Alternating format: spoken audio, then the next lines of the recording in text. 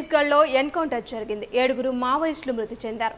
రాయ్పూర్ ఛత్తీస్గఢ్ నక్సల్స్ భద్రతా దళాల మధ్య భారీ ఎన్కౌంటర్ చోటు చేసుకుంది. ఎన్కౌంటర్లో ఏడుగురు నక్సల్స్ మృతి చెందినట్లు అందులో ముగ్గురు మహిళలు ఉన్నట్లు సమాచారం.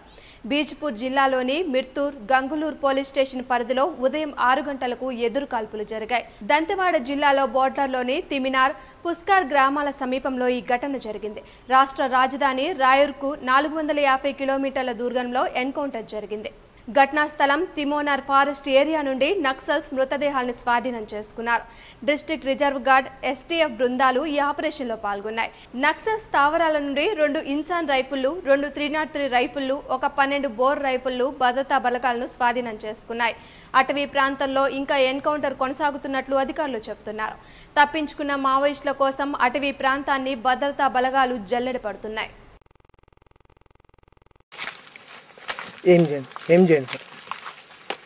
ఏం చేయండి? బాగండి సార్.